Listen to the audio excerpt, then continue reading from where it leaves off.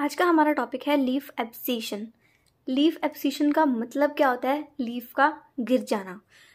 Leaf abscission the natural process of falling of leaves from plant without causing any injury to the living tissues मतलब कि ये एक ऐसा natural process है जिसमें कि लीव्स जो है वो प्लांट से अलग हो जाती हैं। अब अलग हो जाते हैं तो वो प्लांट को कोई इंजरी नहीं करते। अगर वो उसको डैमेज कर रहे हैं प्लांट को या कोई इंजरी कोज करें तो उसे हम लीव एब्सीशन नहीं कहेंगे। क्योंकि अगर लीव्स जो है वो नेचुरली गिर रहे हैं ना, तभी वो इस कैटेगरी में आते हैं एब्सीशन की कैटेगरी में, वरना वो एब्सीशन की कैटेगरी में नहीं आते हैं। वो अब अगर नेचुरली के अलावा लीव्स गिर रहे हैं तो वो प्लांट को किसी डिज़ीज़ की वजह से हो सकता है या फिर कोई भी इन्फेक्शन वगैरह, कुछ भी और रीजंस हो सकते हैं उसके।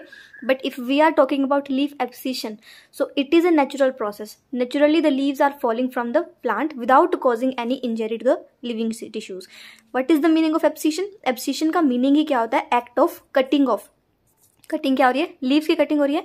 So abscission means act of cutting off now this leaf abscission ये भी डिफरेंट प्लांट्स के अंदर डिफरेंट टाइप्स का होता है। जैसे कि अगर हम डिसीडियस uh, ट्रीज या फिर श्रब्स की बात करें जो कि टेम्परेट रीजन के प्लांट्स हैं तो डिसीडियस ट्रीज या फिर श्रब्स जो होते हैं इनके अंदर क्या होता है कि ये सीजनल प्लांट्स हैं। यानी कि आपने नोटिस भी किया होगा कि जब ऑटम का सीज़न आता है तो ऑटम में क्या होता है कि लीव्स जो है वो सारे के सारे गिर जाते हैं और प्लांट्स जो है वो बिल्कुल नेक अपियर होता है। ऐसा लगता है कि प्लांट के ऊपर कोई लीफ ही नहीं है। तो क्या वो भी अब है तो वो भी एक नेचुरल प्रोसीजर लेकिन वो जो प्रोसेस है वो सीज़न की वजह से है उस प्लांट के टाइप की वजह से है ना कि ना कि लीफ एप्सिशन हुआ है उसके अंदर। सो डिसीडियस ट्रीज और श्रब्स के अंदर ऑटम में लीव्स जो है वो फॉल uh, हो जाते हैं और प्लांट्स नेक्ड अपेयर होता है लेकिन स्प्रिंग के अंदर उसके अंदर अपने आप ही नए लीव्स डेवलप होने लगते हैं। Uh, यहीं अगर हम एवरग्रीन प्लांट्स की बात करें तो एवरग्रीन प्लांट्स के अंदर क्या होता है कि एप्सीशन होता है लीव्स का। एप्सीशन मतलब जो ओल्डर हो जाते हैं जो मच्छर हो जाते हैं जिनके जिनकी एज ज़्यादा हो जाती है वो लीव्स जो है वो गिर जाते हैं और उनकी जगह पर नए लीव्स जो है वो ग्रो होने लगते हैं।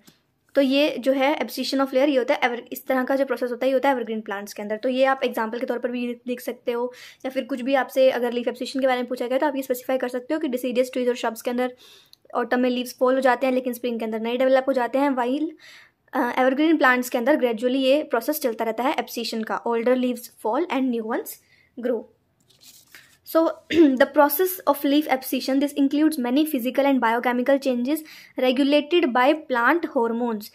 Plant hormones की वजह से ही लीफ एब्सिशन होता है. Plant hormones are the main cause of leaf abscission काफ़ी प्लांट हॉर्मोन्स की वजह से काफ़ी सारे प्लांट के अंदर चेंजेस होते हैं. फ़िज़िकल चेंजेस भी हो सकते हैं बायोकेमिकल चेंजेस भी हो सकते हैं. तो इन चेंजेस की वजह से लीफ जो है वो एप्साइज हो जाते हैं गिर जाते हैं.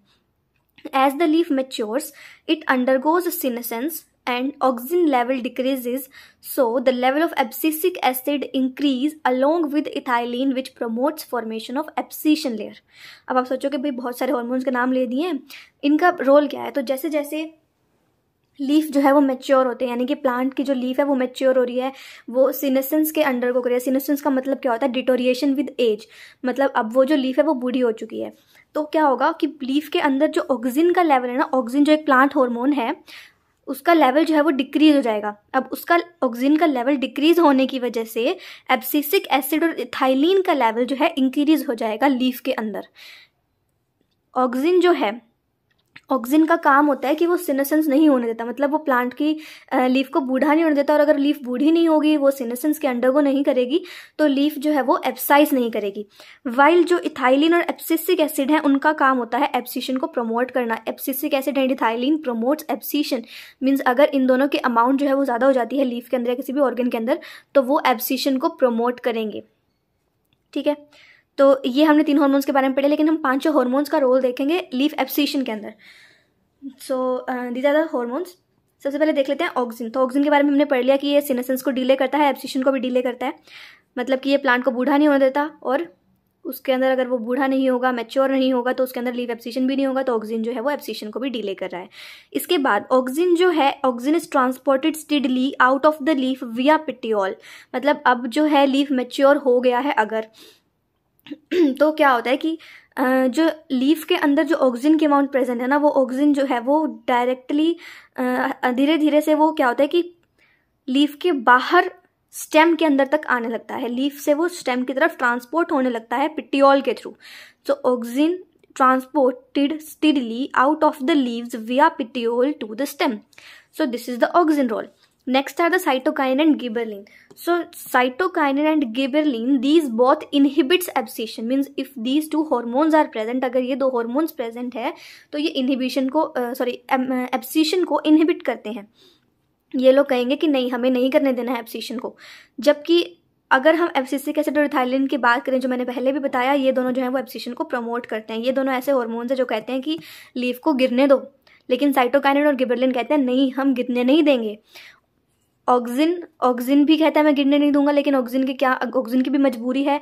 ऑक्सिन जो है, हमें पता है कि growing parts of the plant पर हमें नीड होता है, जहाँ पर भी जो भी ग्रोइंग पार्ट्स होते हैं, जहाँ पर हमें एनर्जी की रिक्वायरमेंट होती है, वो किससे पूरी होती है? ऑक्सिन से पूरी होती है। तो ऑक्सिन जो है, उसको ट्रांसपोर्ट होना पड़ता है to the growing parts of the plant तो अब ऑक्सीजन जो है, वो जैसे जैसे लीफ मेच्योर होती है तो प्लांट कहता है कि ये लीफ तो बूढ़ी हो चुकी है, इसका कोई काम नहीं रहा है तो इधर से अब अपना ऑक्सीजन खींच लो। और जो ग्रोइंग पार्ट्स है ना प्लांट के, जहाँ पर ऑक्सीजन की रिक्वायरमेंट ज़्यादा है, वहाँ पर ले आओ ऑक्सीजन को। तो अब क्या होता है कि ऑक्सीजन की अमाउंट जो है वो लीफ के अंदर कम हो गया और वो स्टेम से ग्रोइंग पार्ट्स पर या फिर जहाँ पर भी रिक्वायरमेंट है, वहाँ पर वो ट्रांसफ़र हो रहा है। यानी कि इन द सेंस हम कह सकते हैं कि स्टेम के अंदर जो है ऑक्सीजन की अमाउंट ज़्यादा हो गई है। तो अब ऑक्सीजन यहाँ पर कम हो गया है लीफ के अंदर ऑक्सीजन जैसे ही कम हुआ भाई यहाँ पर एप्सिसिक एसिड और इथाइलिन जो है वो बढ़ गए हैं। और अब वो कह रहे हैं कि गिरा दो लीफ को। वो लोग क्या करते हैं यहाँ पर एक एप्सिशन जोन फॉर्म करेंगे और इस लीफ को गिरा देंगे। गिराने में प्रमोट करेंगे कहेंगे कि हाँ मैं इसको गिराऊँगा मेरा पूरा हाथ है लीफ को गिराने में। तो एप्सिसिक एसिड और इथाइलिन जो है वो इसको लीफ को एप्सिशन के लिए प्रमोट करेंगे। Now this cytokinin and gibberellins, these are present at different parts of the plant and passed on to the leaves. Now auxin का अमाउंट यहाँ पर कम हो गया। अब जैसे ही कम होगा प्लांट कहेगा कि चलो थोड़ी देर के लिए तो उसको रहने दो। तो वो क्या करता है कि साइटोकाइनिन और गिबरलिन को ट्रांसफ़र करता है टू द लीव्स जहाँ पर ऑक्सीजन का अमाउंट कम है। डिफरेंट पार्ट्स में ये बन रहा है तो डिफरेंट पार्ट्स से ऑक्सीजन और गिबरलिन जो है वो ट्रांसफ़र होता है टू द लीव्स और ये क्या करेगा फिर? लीव्स को इनहिबिट करेगा। लेकिन अब यहाँ पर पहले से ही एब्सिस्टिक और एसिड और इथाइलिन जो है वो बहुत ज़्यादा हो गए हैं तो वो क्या कहते हैं कि नहीं, मैं तुम्हें, तुम कितने ही आ जाओ साइटोकाइनिन और गिबरलिन, लेकिन मैं तो लीव को गिरा कर ही रहूँगा। तो इस तरह से ये एब्सिशन हो जाता है और ये है इन पाँच हॉर्मोन्स का रोल इस प्रोसेसर के अंदर। अब बात आती है कि अब ये पाँच हॉर्मोन्स का रोल आप याद कैसे करोगे? क्योंकि मैंने अक्सर देखा कि बच्चे बहुत कंफ्यूज हो जाते हैं कि सब मैसअप कर देते हैं कि अब कहीं साइटोकाइनिन के साथ इथाइलिन लिख देते हैं, कहीं एप्सिसिक एसिड के साथ गिबरलिन लिख देते हैं तो वो लोग बहुत कन्फ्यूज़ हो जाते हैं। तो मैं आपको बताती हूँ कि इसको याद कैसे करना है। देखो ऑक्सीजन का जो रोल है, अब पूरी की पूरी जो लीफ एप्सिशन है, उसमें मेन हार्मोन है ऑक्सीजन यानी कि एयर तो ऑक्सीजन जो है उसको तो आप बहुत इजीली याद कर सकते हो, वो आप सबको याद रहेगा ही, मुझे पता है, क्योंकि ऑक्सीजन जो है वो सबसे डिफरेंट है, उसका रोल ही डिफरेंट है। सारा, का सारा जो लीफ एप्सिशन है, वो टिका ही ऑक्सीजन के ऊपर हुआ है तो ऑक्सीजन तो आपको याद रहेगा ही कि ऑक्सीजन जो है वो सिनेसेंस को डीले कर रहा है एप्सिशन को डीले कर रहा है, वो नहीं चाहता कि प्लांट जो है वो गिरे, वो बहुत एक अच्छा हॉर्मोन है, ठीक है? इसके बाद साइटोकाइनिन और गिबरलिन जो कि एप्सिशन को इनहिबिट कर रहे हैं, ये कब प्रोड्यूस हो रहे हैं? जब इस लीफ के अंदर ऑक्सीजन की अमाउंट कम हो गई है। तो अब ये जो साइटोकाइनिन और गिबरलिन है, अब ये जो गिबरलिन है और और साइटोकाइनिन यहाँ पर ट्रांसफ़र होता है। और ये यहाँ पर आकर लीफ को बोलते हैं कि तू टेंशन ना ले। मैं गिबरलिन हूँ, मैं गब्बर जैसा हूँ और मैं गब्बर जैसा हूँ, देखता हूँ कौन इस लीफ को गिरने देगा। मैं इसको गिरने ही नहीं दूँगा, देखता हूँ कौन मेरे सामने आता है। और गिबरलिन जो है, वो कहता है कि मेरे साथ मेरा एक साइटो भाई भी है, मेरे साथ अपना एक साथ है। साइटो भी है, हम दोनों मिलकर देखते हैं कौन गिरेगा हमारे पास। गब्बर जैसी बॉडी है और साइटो जैसा दिमाग है तो हम देखते हैं हमें कौन गिराएगा इस लीफ को।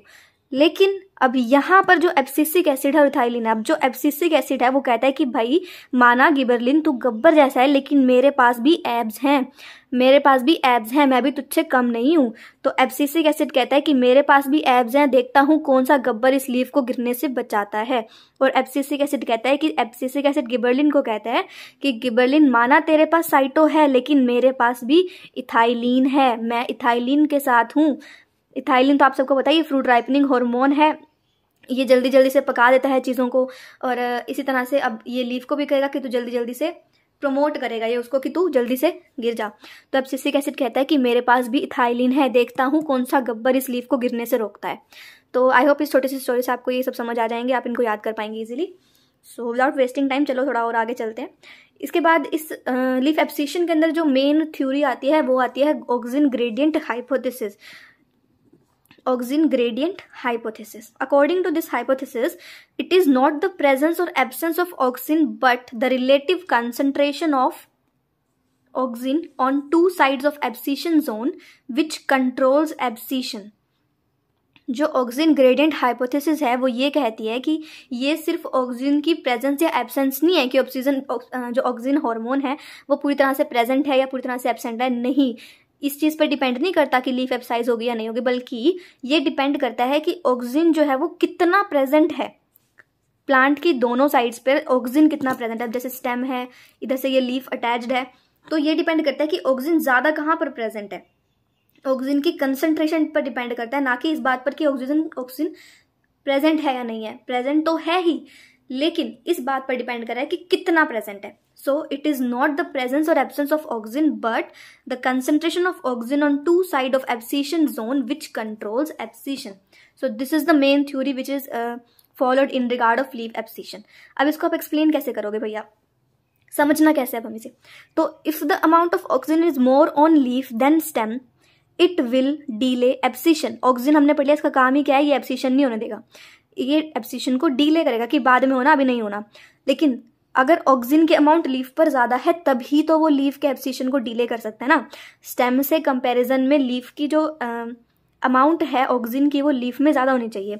लेकिन जैसे जैसे प्लांट मेच्योर होता है auxin is transported to the growing parts of the plant and so the leaf undergoes senescence and amount of auxin in the leaf decreases and hence the leaf will abscise जैसे जैसे plant mature होता है oxygen जो है, उसकी concentration उसकी जो amount होती है, वो कम हो जाती है लीफ के अंदर।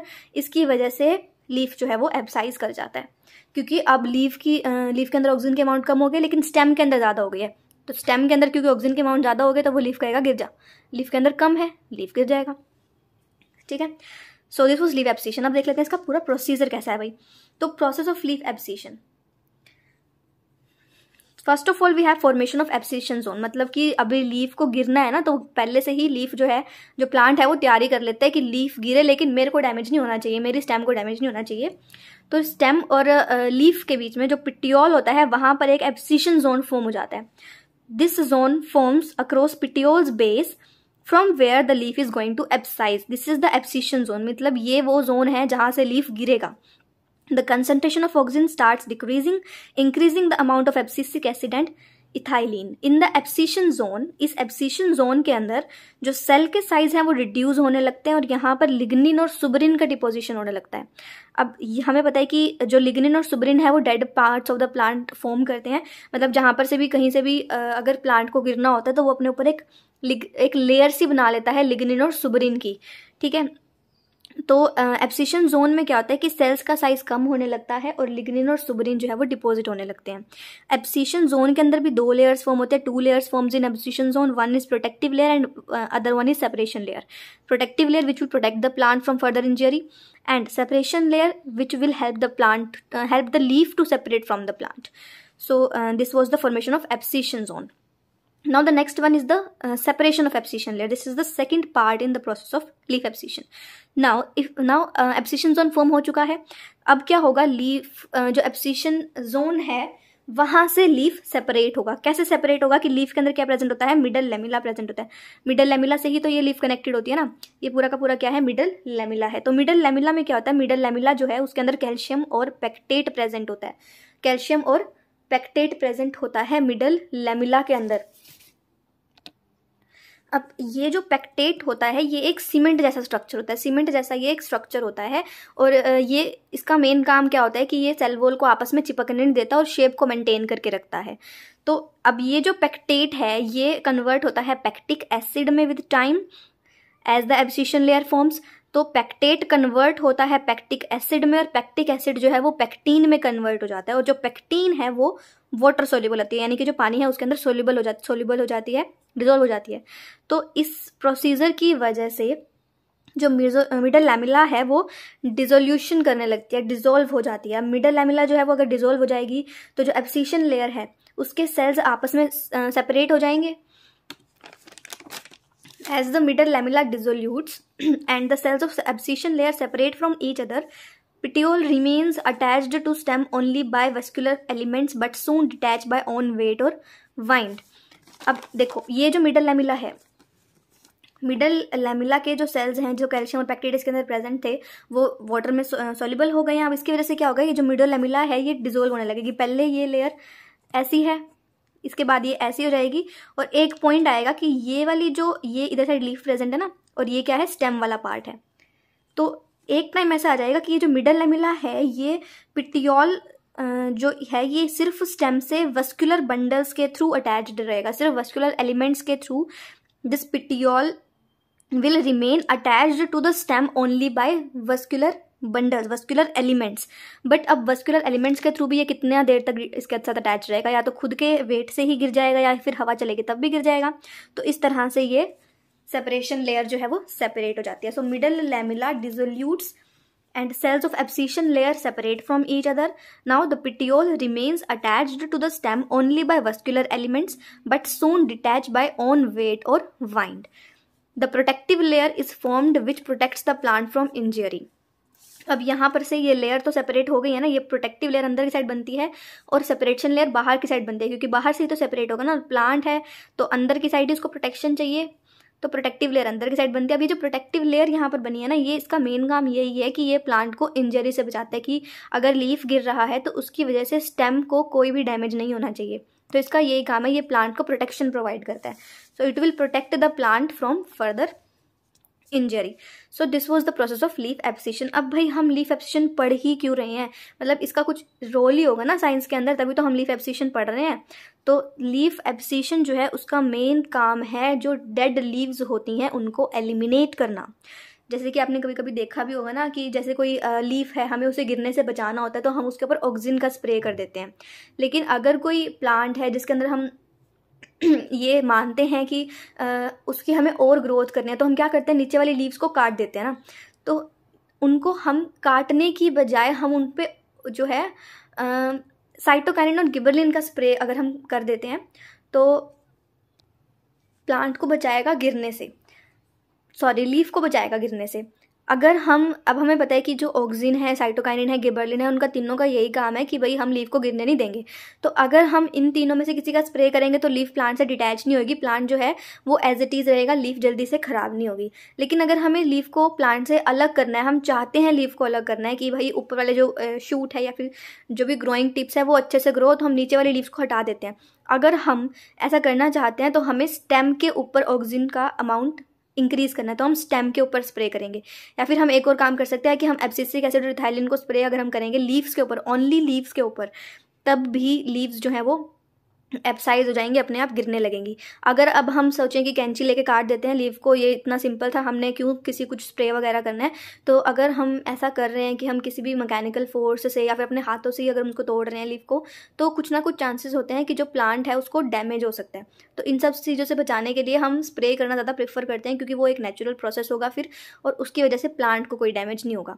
तो फिर हम क्या करेंगे? एफसीसिक एसिड या फिर थाइलिन का स्प्रे कर देंगे इधर लीव्स के ऊपर, या फिर हम ऑक्सीजन का स्प्रे कर देंगे, या फिर हम ऑक्सीजन का स्प्रे कर देंगे ऑन द स्टेम तो ये जो है हम लीफ एप्सिशन के लिए जनरली आप किसी भी फार्मर वगैरह गार्डन में जाते हो अगर या फिर तो फिर आप वहाँ पर ये चीज़ें नोटिस कर सकते हो या किसी नर्सरी में जाकर भी आप माली से ये सब चीज़ें पूछ सकते हो तो वो आपको पूरा बता देंगे। ठीक है, बाकी ये वाला पूरा प्रोसेस था लीफ एप्सिशन का। आई होप आपके सभी डाउट्स क्लियर हो गए होंगे but still if you have any doubt you can comment me in the comment section thanks for watching